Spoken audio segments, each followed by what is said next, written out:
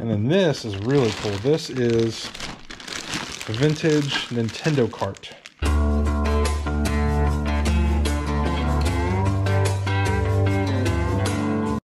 Hey guys, it is Monday, December 21st. It's kind of a gross, rainy day. I've only got 11 eBay orders to ship out today, and I'm not that surprised that it's not very high because I didn't list that much, Thursday or Friday. I think I listed a few Thursday, but none Friday, so usually when that happens, I don't have that much to ship out on Monday. After I pack the orders, I'm heading up to meet somebody for a private pick. They don't want to be filmed. They want to remain anonymous, so that's fine with me. Uh, but I'm excited to look through it. Supposedly there's a lot of stuff, so I'll take you guys with me. All right, let's get to work. Okay, first thing I'm shipping out are some watches. I think it's a total of four lots, and it's these right here. These are all watches that I got uh, from Danny and Parker, and I decided to do auctions with them. And these four right here all went to the same buyer. So let's see, one of them went for $25.01 plus shipping. Uh, another one for $36 plus shipping.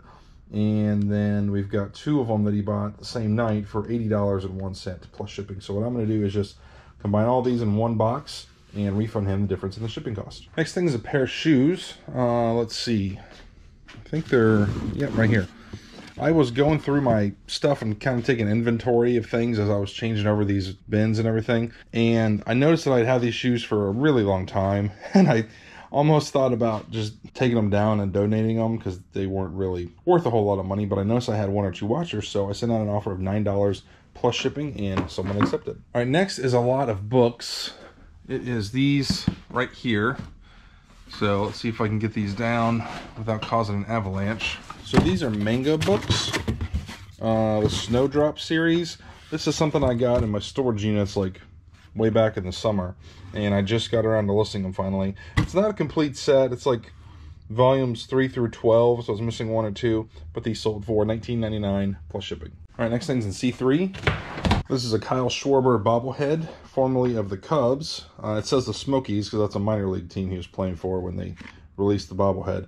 I got this from Kevin the Tennessee Picker, and it's sold for $29.99 plus shipping. That bobblehead's going out to viewer named Steve. Steve, thank you for the support. Really hope you like that bobblehead. All right, quick tip for you guys. I'm sure a lot of you have heard me talk about this before, but in case you haven't, this is a regional rate box B, okay? Um, they make regional A and regional B, and they have two different shapes for each. And this is kind of like the bigger rectangular box for the B. They make a long, skinny one too. And basically what this is, forget about the regional part, because that doesn't mean anything. You can put as much weight as you want to up here, up to 20 pounds, and it will ship at a four pound rate. So every once in a while when I get, you know, smaller things that are heavy, I use these boxes, and this comes in at like 16 pounds and 4 ounces. I'll be able to ship this at a 4 pound rate and refund the buyer that big difference. So should save them a lot of money. Those boxes are totally free. You can get them at most post offices, uh, but if your post office doesn't have it, you can get it on USPS.com. All right, next thing I'm shipping out is a teapot. Let's see, it said it was in B3, so here we go. It's on one of the B shelves. I've got $5. Oh, wait, no, I didn't buy this individually. This was out of my storage unit. I remember now. It's been so long, I almost forgot. This sold for $19.99 plus shipping. Next is in C1. It's some small pins, so it might be hard to just dig it out of there. So I'm just pulling the whole bin. Let's see here. It's about maybe like 10 or 15 of these things all in one bag. Here we go. I got a whole bunch of pins and different things at a garage sale and made a lot of these right here. These are remakes, they're like reproductions of Russian World War II uh, pins. And 15 of them all together sold for $19.99, free shipping. Okay, next is back in F3. So I'm gonna move this rack out of the way. These are science fiction fantasy novels. I got a whole bunch of these at a garage sale for 10 cents a piece. I guess it's been three or four months ago now, and I did a lot of different um, groupings by author. So these are all by uh, Katherine Kurtz. Six books they sold for $19.99 plus shipping. Next thing I'm pulling is an E1. This is a Task Force 16-piece uh, bit set. New in the packaging, that sold for $19.99 plus shipping. And last thing I'm shipping today is an ornament. I think I see it down here. Yep, this is a Wizard of Oz. It's the wizard in his hot air balloon, the Omaha State Fair air balloon. Uh, got that from Kevin Tennessee Picker. That's all for $14.99 plus shipping. Your name Kevin got that for his wife. Kevin, thank you for the support. Really hope your wife likes that ornament. All right, the orders are packed. It's time to hit the road.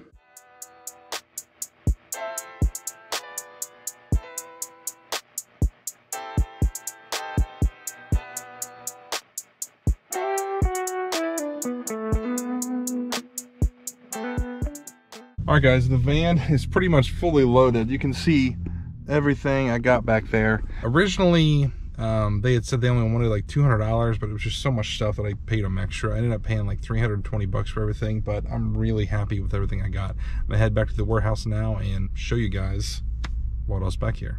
All right, guys, I'm back at the warehouse. I pulled some of the stuff out to show you guys. Uh, first up, we've got these vintage Uncle Josh pork rind baits. These are really unique. Since they're so old, I don't know if they've, you know, like lost any like of the flavor that like fish would like. I mean, I really have no idea. But she said that she thought that these sold, so we'll give those a shot. Over here, we got some uh, trading cards. There's a lot of different trading cards. Baseball, Desert Storm, hockey. There's like a little bit of everything. I love these old 90s uh, superstars cards. The Colts, Joe Satriani, Debbie Gibson. Not worth a lot, but I'm kind of nostalgic for that stuff. Let's see, Desert Storm. There's three DS's. I don't know if there's chargers, but I know I've got some chargers for these that I can test them with. Kids Ohio State jacket. There's a Reds jersey. More cards down here. That's cards. There's some uh, Alf and Desert Storm like wax covers. It's kind of interesting. And then we got some big enamelware like pans and bowls and stuff. And then this is really cool. This is a vintage Nintendo cart. So let's see here. I think the system would probably go on top and then like you put some games in here and then maybe like extra controllers and stuff in there. It's got wheels. Uh, this thing's in pretty good shape. And I think this is this piece alone is going to sell for close to 200 bucks. All right, I brought another load in. We got a Tonka truck. Here's a big Lego space set. Looks like there might be a car in there too. That's pretty cool. Uh, a couple pieces of Pyrex. Let's see what we got here. Some cassette tapes. Billy Joel, Anne Murray, Nat King Cole, Beach Boys. Might just do a big lot of those. Uh, we got some more cards. Looks like football. Let's see, there might be some more cassettes in here. No, this is a cassette storage case. And this is probably the same. More cassettes. Um, Garth Brooks, Tina Turner, Temptations, Oak Ridge Boys. Got a whole bunch of 8-track tapes. Uh, let's see, John Denver, Willie Nelson, Guy Lombardo. Uh, this right here, let's see, Next 650G. I think this is some kind of computer part. Maybe a hard drive? Well, nothing's really in there, so it might just be some of the cables and accessories for that. In this box, we have some beer tap handles. That's a cool one. Telephone. Batch 19, Sam Adams, Budweiser. It's a vintage Sony boombox. It's a pretty nice one too, actually. And they said it works, which is awesome. Let's see, we've got a camera lens. It's a Vivitar. Here is a square reader. Some old jars. These will do well in the antique booth. Okay, we got a typewriter in here. Let's see if I can get it open. This is a vintage Adler. Has the original case and owner's manual. And I looked it up. I think this is worth about $100. It's really clean too. That's a nice one. Got a little fan that'll be good for the antique booth. Tonka fire truck. This is cool. That's just a really old brush with a wood handle. Uh, let's see, we got a blowtorch, cordless phone, a flashlight with a big tripod. It's kind of cool. This is a cast iron piece. It looks like it's modern because I see some Phillips screws around the ends. I don't know if this would be for like dog bowls or like what that would be for. That's kind of interesting. Here's another brush. Might be Bakelite. Let's see, Nylon USA. Here's a Mr. Burger with the original box and styrofoam. That's pretty cool. This is a Ken Griffey Jr. glove with the original Rawlings tag, so that's pretty awesome. We've got a uh, and Bearcat scanner and a GPX portable TV. Looks like it's new in the box too. That's awesome. All right, brought some more in. Let's see what is in here. Uh, this is EVGA. Okay, so this is the next 650 piece that goes with that box back in there. So I think this might be a hard drive. We got virtual reality headset. Here's a Seth Thomas Mano clock. She said it didn't work. Uh, it was kind of just a throw-in actually on the deal. But even if it doesn't work, I think I can sell it for parts. And then this whole tub is full of stuff. Let's see. Got a big book. World Trade Center archive. That's pretty wild. There's a sessions clock. Here's like a mid-century modern ice bucket. Got a recoil game. Here's a Nintendo case. That is really cool. Some hubcaps. I think there's a camera in here. Maybe a portable CD player.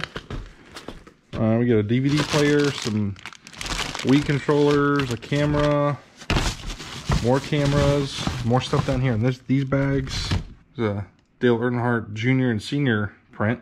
All right, here's the last little bit of it. This is a vintage laundry basket.